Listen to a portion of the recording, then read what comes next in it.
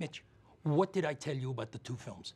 He made only two, his first two films. I know, I didn't like the first one. What did you like about the second one? It was okay. I know, but what did you say? You said nobody. Yes, I did. But what you said about it, yeah, I think he needs to hear that. No, I don't believe he can do I it. want you Why to tell him to that, that? because What, he he's an artist. Can he, can he deliver the Uh, you know what? I'm going to cut to the chase.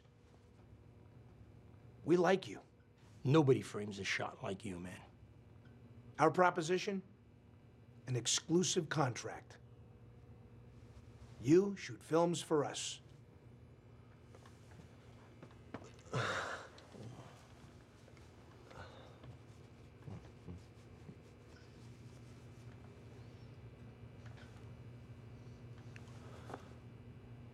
I usually wait 24 hours before I make my final decision on anything. So, 9:45 tomorrow, you gentlemen have my answer. Mr. Pelham?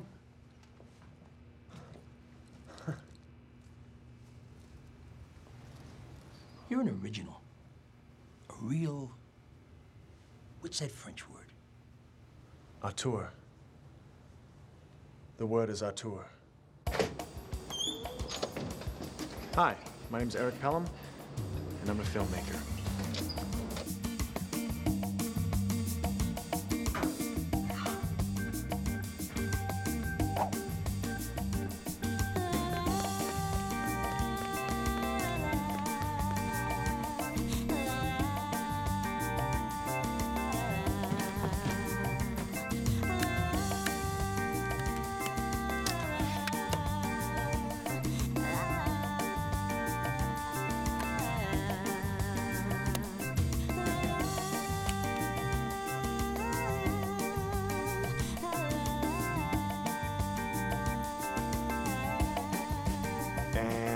Action.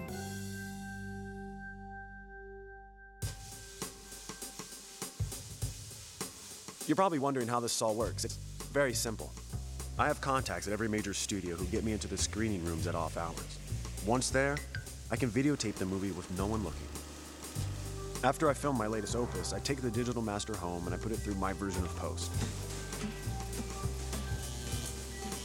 Then I give a master DVD to Lenny, remember him? Who copies and distributes DVDs and tapes to dealers the world over. There's so many middlemen between us and them, the law can't touch us. The beauty of it is, when I do my thing, it's money for everybody, baby. New Tom Cruise screen at 1 a Thursday. Got you on the list. Come on, Lenny. I'm tired of shooting other people's films. When are we gonna shoot our picture? I told you. If we go DV, we could shoot next week. I still got the 50K we put aside, and I know we can get all the gear if we call on contacts. No, screw that. This is a film. It's not some some pretentious dogma crap. It'll be like Cassavetes, all family. You shoot and direct. I can't believe this guy. Ten years of working together and he still doesn't get it. No, no, no. Trust me. No, listen, if we are gonna make a film that people are gonna see, we're gonna need at least $2 million. Did you even get that script to Jack Burton's agent, huh? Mr. Producer? Hasn't returned my calls, but forget about Jack. We don't need him. Forget about. With Jack Burton in the picture, they will toss us the other $2 million. Mitch and Tony will pay top dollar for the new cruise. A few more flicks for them, some backdoor distribution of our own, and you got your budget.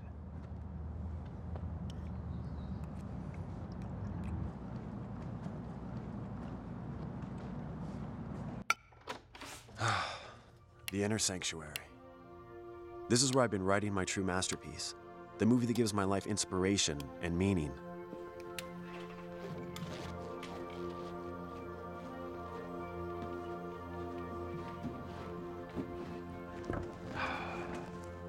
Through the Looking Glass, 120 pages of cinematic VSOP written for the great Jack Burton, formerly known as Jacob Einstein from Suffolk, New York.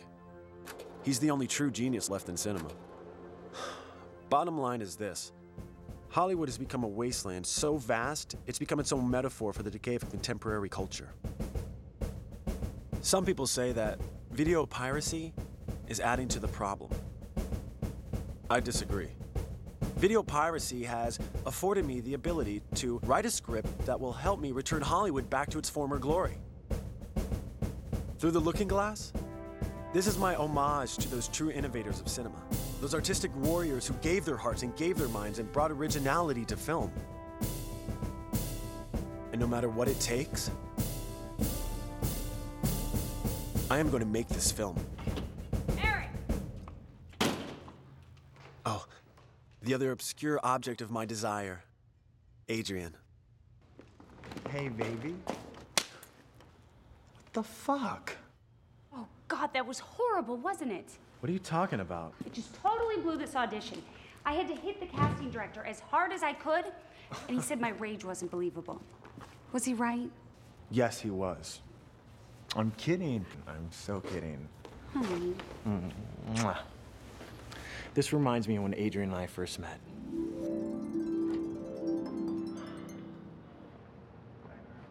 I don't understand how you didn't like that. I thought that was amazing. I goddamn hate Bresson. You weren't touched by that? Existentialism is just mental masturbation. Well, at least that's a subject you know something about. You're walking home tonight.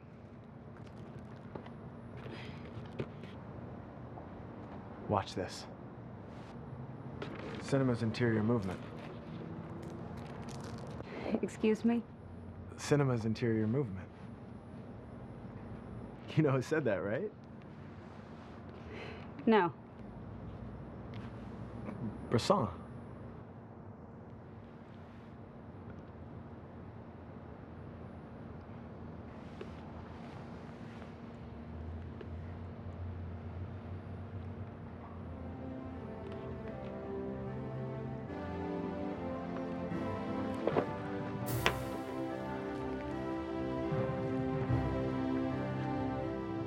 It was love, Redenbacher style. She appeared in some of the finest films Roger Corman ever produced.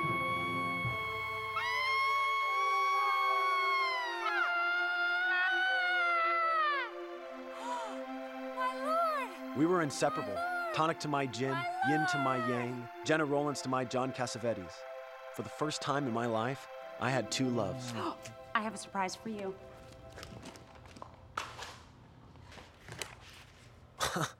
It's my favorite, can we? Yeah. you dress up like the naughty nun, and I'll be the Mother Superior. I know what you're thinking. Luckiest guy in the world, right? A guy like me and a girl like her. But can I tell you something? And uh, I can't believe I'm saying this. Baby, move to your left. There you go, good. All I can think about is this film. This fucking film that no matter what happens, no matter what's going on, I have to make. I need lights. I need camera. I need action. I need through the looking glass, burned into every heart and every mind of every moviegoer that's gonna lay down $10 to see a moving image. I need to make films. Fortunately, I have a plan. After reading about Jack's fondness for all things cinematic, I scored him this sweet little prize for his birthday. And let's just say, I think it'd be an offer he couldn't refuse. Alberto, a cinematographer classmate of mine, was working as the second, second, second AD on Jack's new project. I can get you in tomorrow, and you can give the gift to him yourself.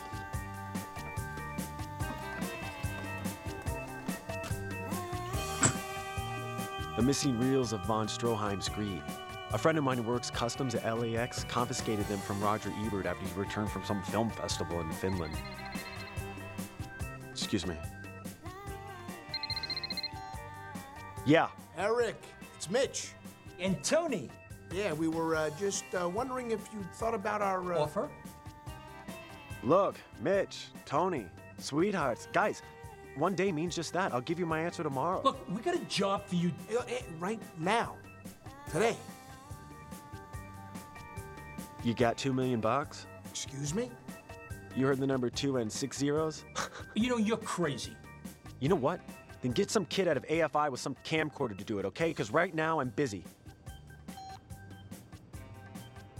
You know, some people just don't understand the idea of destiny.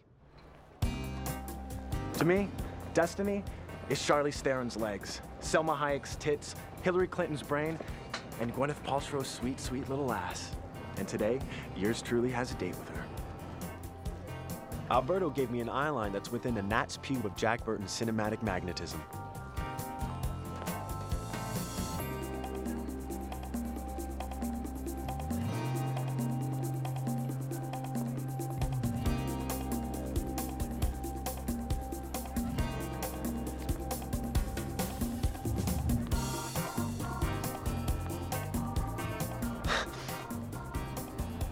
Wow.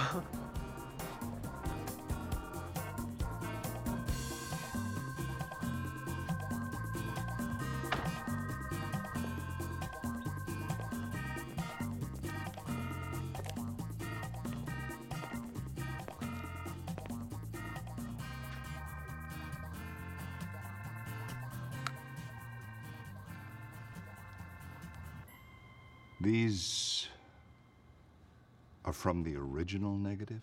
Huh. The silver nitrate stock. There's there's actually the um the original receipts from from from inside the lab.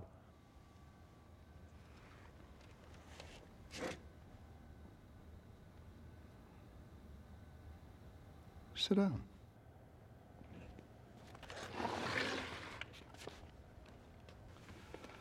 Oh, damn. Monique, darling. Ah.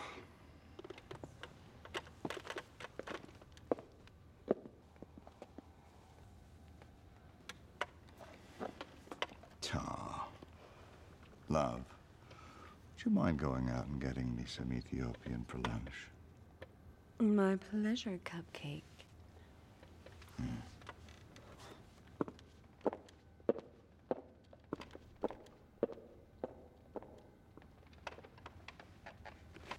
Jack Burton. Eric Pelham, sir. Mr. Burton, I'm, I'm, I'm a huge fan of yours. I, I, I really appreciate you. You have a pitch, and I have another scene to shoot. Three minutes. Oh. You know I can't accept unsolicited material. Have your agent call. Have your lawyer. Two minutes.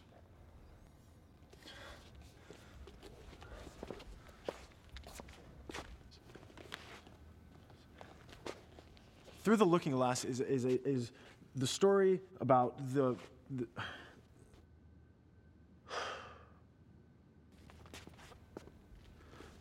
What's the one thing that, that, that you love more than anything in the whole world?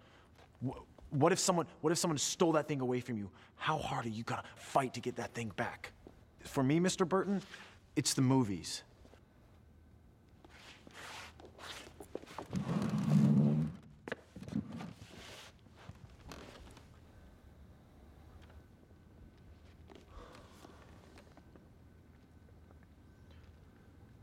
Movies are where truths are told,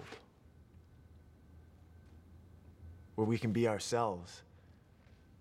You know, you laugh when you want to. You, you cry when you want to. You don't, you don't give a flying fuck who sees you. The movies, they're the church of the new millennium. I mean, don't you ever, don't you ever notice that the colors of the world only seem real when you see them up there on screen? Yeah.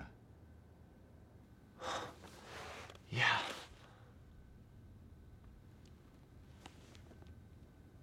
This script is my skin, my blood, my bones, the heart that pumps it.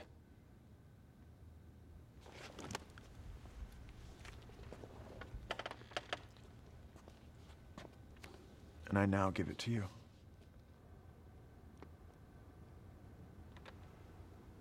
Mr. Pelham.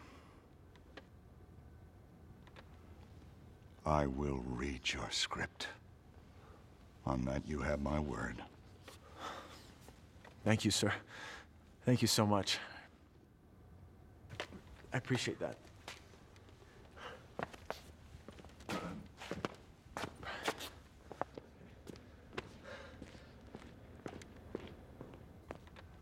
Never seen a mouse to do a lion's job.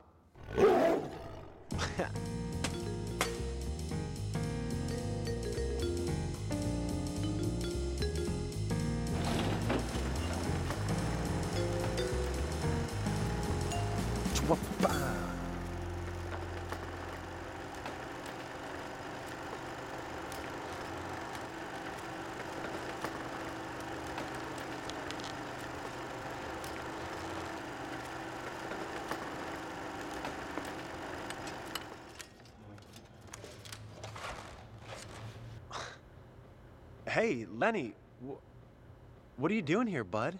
Alberto called me. You had a meeting with Jack Burton without me? Lenny, I. I gave you a year to do something with that script. And I did it in one night. What do you mean by that? Do the math. Jack Burton, let me tell you, Jack Burton is too big for guys like us. Guys like us, we're better off as big fish in small ponds. In every teacher student relationship, the student always outgrows the teacher. Lenny, get real. What do you mean, get real? You just don't get it, do you, kiddo? Lenny, it's over. You're over. We're over. You have become cruel.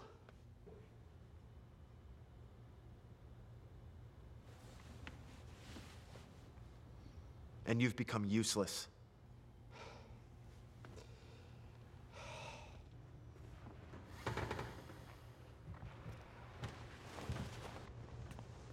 Lenny, wait. Le- Lenny, Lenny, Lenny, wait. Lenny! leave me alone. Hey. Have you have you been here the whole time? I heard everything. How could you just dump Lenny like that? Honey, it was time. It was time? You'd have nothing if it weren't for Lenny. Baby, Lenny's schmenny, okay? He's a dime a dozen. You're just like a dog, Eric. Anything you can't eat or fuck, you piss on. Uh, Ex- Excuse me? Then what does that make you, huh? Screw you. Oh, come on. Will you stop being so dramatic? Will you, will you stop? What are you doing? I mean, what? You're gonna leave now? You're gonna leave? You just don't get it. Adrian, wait. Come on, honey. Adrian, would you fucking wait? Don't you understand? Lenny would have loved you whether you made this film or not. I will love you whether you make this film or not.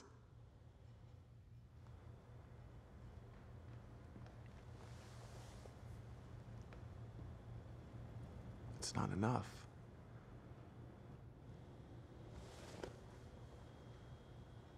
See you at the movies.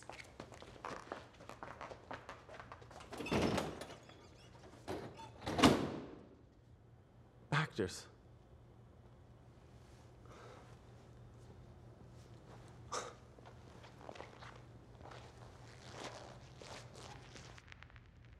The rest of the year was brutal. Without Lenny, I found my distribution network had all but dried up. I could still shoot for local clients and a few schmucks who would still sell my wares on street corners, but being a completely independent filmmaker wasn't the dream come true I thought it would be. And I was running out of money. Fast.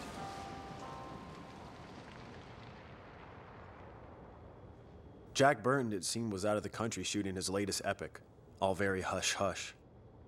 Bottom line, I never heard back from him. And worse, I still didn't have the two million I needed to make my film. And then.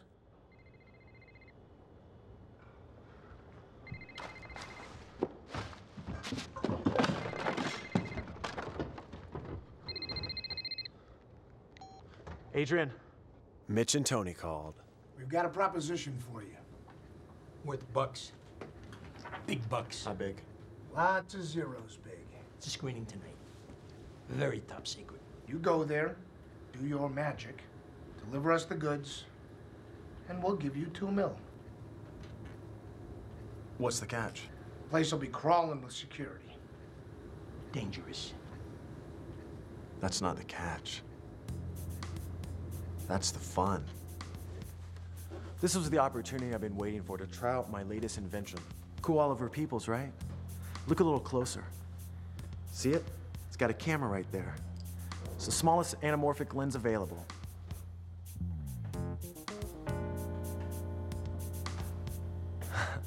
Hold on.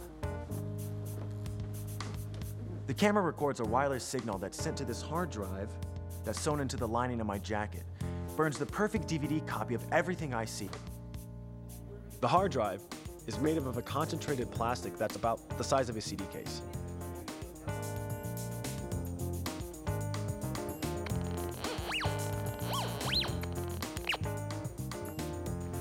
No modern security system will ever be able to pick it up.